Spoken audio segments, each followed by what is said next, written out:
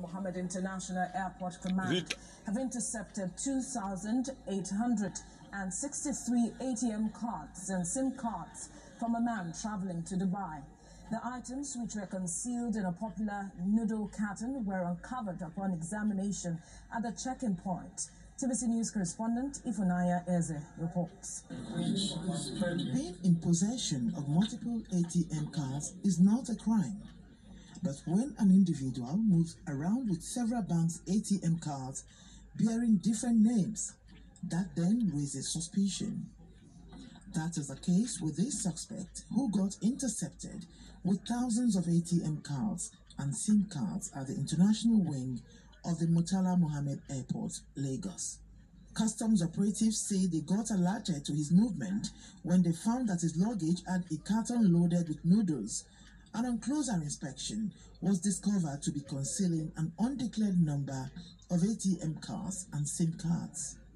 Officers decided to say, okay, somebody cannot just be carrying noodles and then taking it. So they decided to do a physical and thorough examination on, on the carton. They took my side, ripped it open, and this is what they found. What interested is why is he concealing them? He did not declare this thing as he's taking them out, and he's going out with them.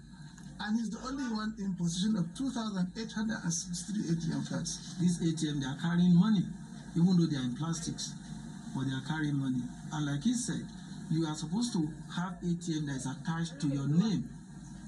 But having this gamut of ATM raised a lot of suspicion.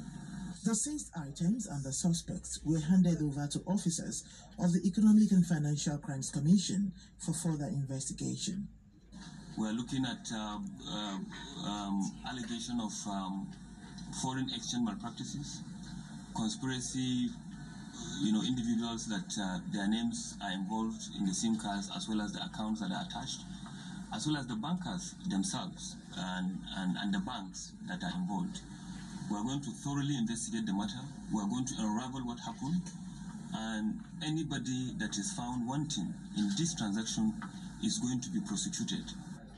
Meanwhile, Nigerians have been warned against selling their bank accounts to criminal minded individuals who deploy them for fraudulent purposes. Ifunanya Eze, TVC